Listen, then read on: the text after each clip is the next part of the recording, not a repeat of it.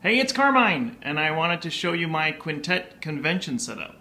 I've been going to Star Trek conventions for a couple of decades pretty much now, and I want to start bringing my game Quintet uh, to these events.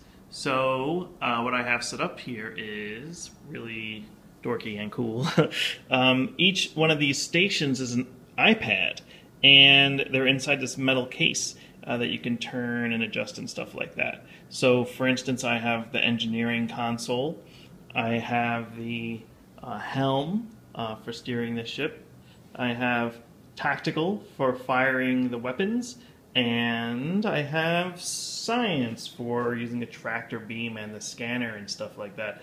Um, additionally, I have a projector set up. Uh, it's a little bright right now, but it actually does look pretty awesome um, for the view screen. And uh, for Captain, uh, for fun, I'm using a tablet um, here where I can just, um, you know, walk around while I'm barking orders at people and do things like, you know, pick where we're going to warp to and what missions we're going to do and stuff like that. So, um, my first time I'm going to use this um, will be at LICon, um, which I'm very excited about, and I will see you all there. Uh, thanks for watching this shaky camera.